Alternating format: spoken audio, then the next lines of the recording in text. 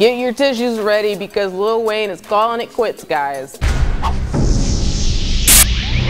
Hey guys, it's Hart and you're watching The Drop. In an interview with MTV News about his upcoming album, The Carter 5, Weezy revealed that this is probably going to be his last solo album. I personally plan on this being my final solo album, yes.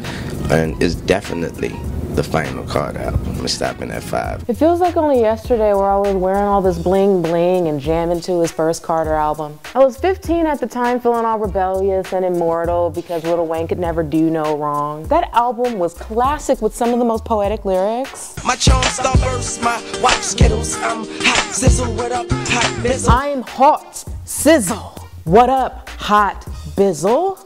Masterful. Let's take a moment and look back on the career of a voice of a generation.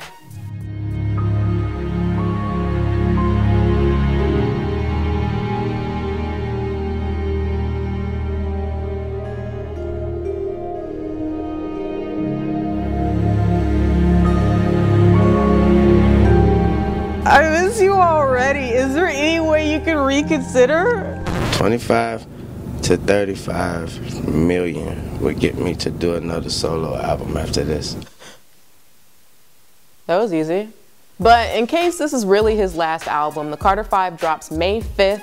Get it, cherish it, but don't cherish it too much because he did say that he's gonna be doing more songs with Young Money, so that's a thing. So what do you guys think? Do you not care at all, or can you just not wait for the new Carter album to be in your hand muscles? Is he bluffing? I think he's gonna go all the way up to Carter 17. Let me know in the comments below, and check my channel out, youtube.com slash hartbeat. Make sure you guys go ahead and subscribe. I'm Hart, and we'll see you next time here on The Drop.